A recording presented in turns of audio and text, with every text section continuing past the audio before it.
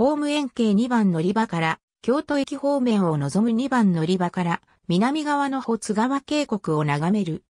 奥の方に佐賀の観光鉄道の線路が見える旧駅より建設中の新駅を望む旧駅に停車中の普通列車保津京駅は京都府京都市西京区と亀岡市にまたがる西日本旅客鉄道山陰本線の駅である。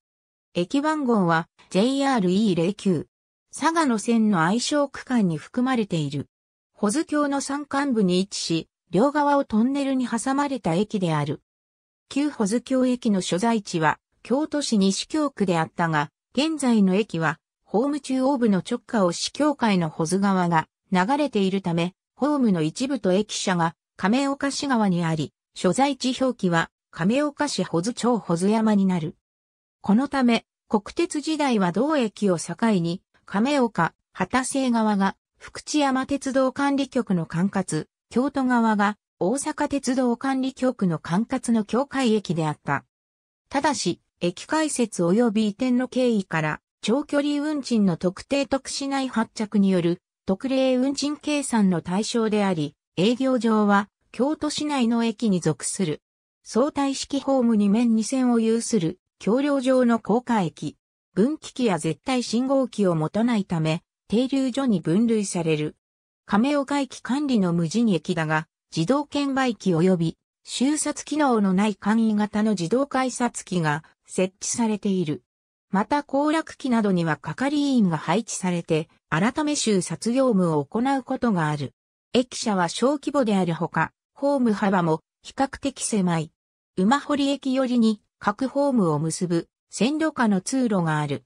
ホームの一部は橋上にあり、真下を遊覧船が通過する。トイレは設置されている。